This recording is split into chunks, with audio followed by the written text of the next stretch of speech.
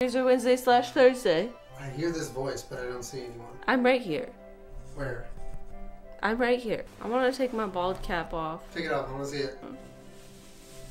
Oh. Oh my god, it looks like you just peeled your skin off.